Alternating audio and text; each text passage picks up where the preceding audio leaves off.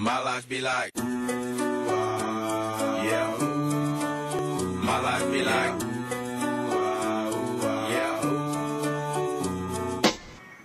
Hey guys, uh, today we have a little review video on this chainsaw that I just fixed up. It's actually a project that I've had, my dad gave it to me to work on. It's a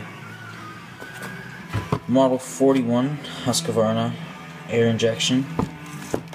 It's a pretty good little saw.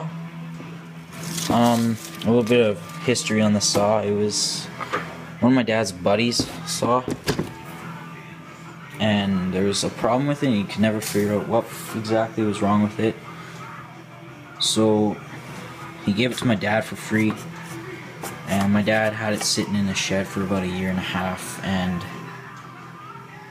um, I just needed a, I just wanted a project to work on so my dad said here I have this saw to work on um, the problem that there was with it is that you could start it but then You'd have to have choke on, and then once you shut off the choke or rev the throttle right here, I'll show you guys a better picture. So this right here is choke. So just put that back in, and uh, or if you press the throttle, um, it wouldn't stay running and shut off. And I couldn't figure out what was wrong with it, so I actually took apart the carburetor and I'll take off this cover here to show you guys a better view of what I'm talking about. Um, I just recently finished this last Wednesday. I it running. No, last Thursday. Tried it on Wednesday. Didn't work for some reason. Um, then also on Thursday after school, go back home, try to turn it on for a bit, and then it works. It was miraculous. Screws not ignorant. That's one thing I hate about these chainsaws, these older ones especially, like this. Um, real pain in the butt because they have the screws on the covers instead of little clips like the new ones. So I'm going to take off this cover here. So just a little cover. This right here is just for your spark plug. Boot goes. Three little screws, they stay into the plastic. Um, so, this is what it looks like inside under that cover. Um, this here is your, your cylinder, spark plug, your boot, that's what I was talking about, that inserts right here. Um, this here is your little, I guess you'd call it an air filter. Um, just keeps all the grit out of there so it doesn't go into the carb, into your cylinder, burn up, cause um, any damage inside there. And a lot of people don't know how to tell if their saw isn't running. Um, lots of people don't know how to clean it yearly. You're supposed to clean your machines out once at the end of every year.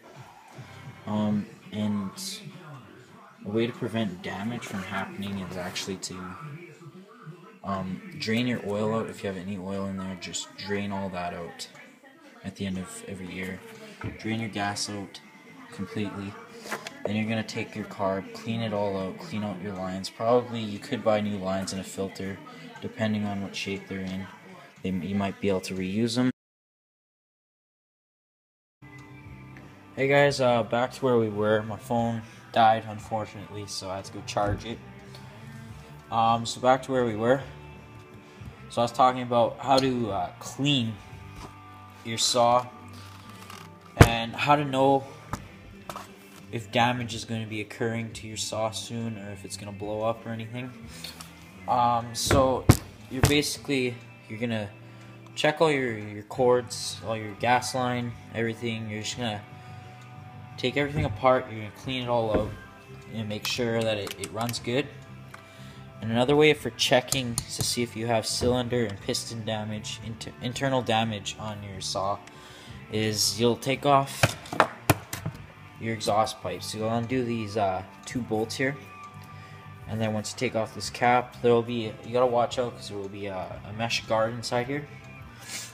And if you don't take this, if you don't watch where this mesh guard comes, how it comes out of, when you go to try to put back together, it will not work. So you gotta, it goes in a specific way, and that's the only way it'll work. So once you take out that mesh guard, inside there will be another two screws similar to this that go straight into your uh, into your cylinder. And uh, once you take those out, you'll be able to see your inside of your cylinder. And when you pull on this cord here, you'll be able to see your uh, your piston moving up and down. And then to know if your piston, if you have any internal damage here, your, when your piston goes up, you will see that there will be marks, like straight marks going up and some going down.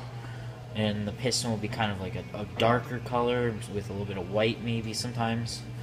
And there'll be little scratches in it filled up with carbon buildup.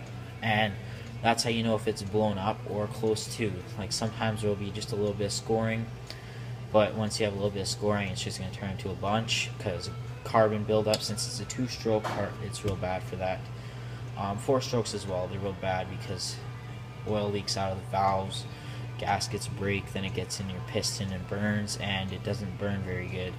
It creates flakiness and it, it, it makes this cake, cakey fluffiness stuff inside there, and then it gets stuck in between your piston and your cylinder.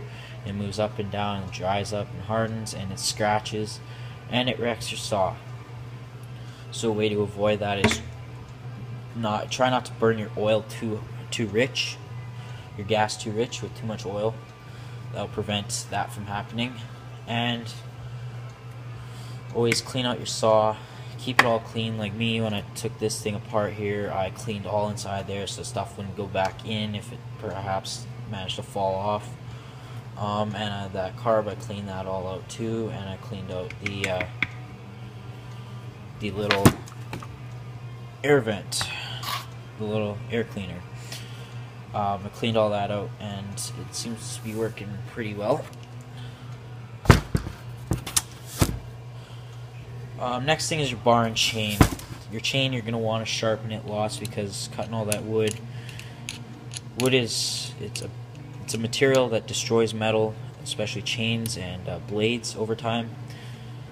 And it dulls your blade a lot and sometimes you'll be cutting like a pallet and you'll go and you'll hit a nail or a screw that really messes stuff up so you always have to sharpen it so you have these little round files that go in and you gotta sharpen them a special way and you always want to make sure that your bar here that's what this piece right here is called it's your bar those, you always want to make sure that they're not bent, because that could throw, if it's bent, your chain could pop off, fly off, break even. So you always want to make sure that's in good shape too. And I'll be having a little uh, test run video to show you guys how it's running now. Um, I'm really impressed with it right now. Um, so as I told you guys in the last video, this is going to be a running video. So let's get started. Um, before I'm going to start though, I'm going to show you guys something that I didn't tell you guys in the last one.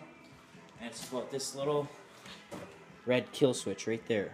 Lots of people forget about that.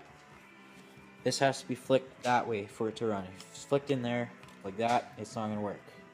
So you got to flick it that way. And it's a lot easier to start it with your choke on. So just warn you guys about that. So here we go.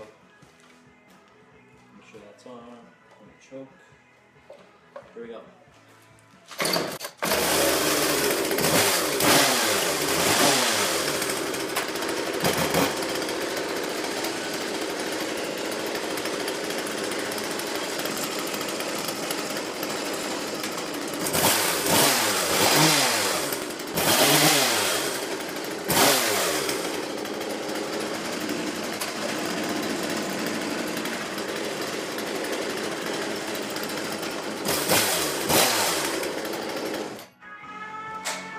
Pretty good.